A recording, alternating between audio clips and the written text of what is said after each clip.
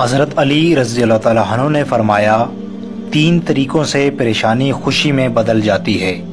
खामोश रहने से परेशानी कम हो जाती है, सब्र करने से ख़त्म हो जाती है, शुक्र करने से खुशी में बदल जाती है।